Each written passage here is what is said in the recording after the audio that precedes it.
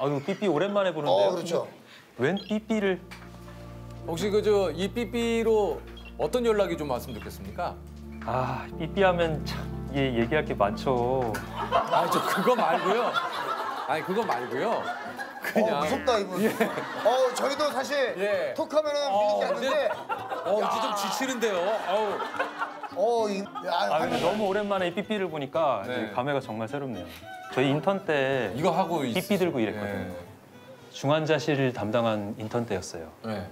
30분마다 한 번씩 몸에 독소를 빼는 관장을 오더를 내신 거예요. 어.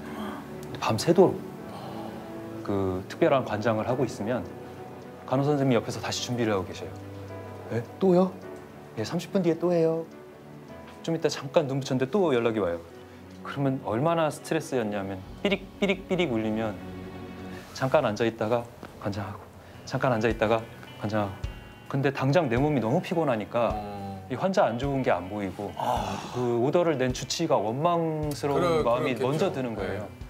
이 부셔버리고 싶고 네, 삐삐 부셔버리고 싶고 네, 이랬던 기억이 예, 있으시고. 기억이 나네요. 아, 근데 저희가 드린 질문은 말이죠. 어떤 연락이 왔으면 좋겠느냐.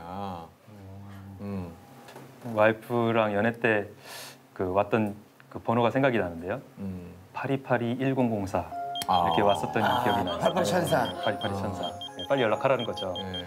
근데 인턴 콜이랑 같이 오면은 이건 항상 뒷전이 돼 버렸어요. 아. 인턴 콜이 먼저니까 연락 빨리 빨리라고 돼 있는데 여기 빨리 빨리는 내가 맨날 대응하면서도 여기 내 여자친구, 내 사랑하는 사람의 이 네, 빨리 대응을 빨리에는 못했어요.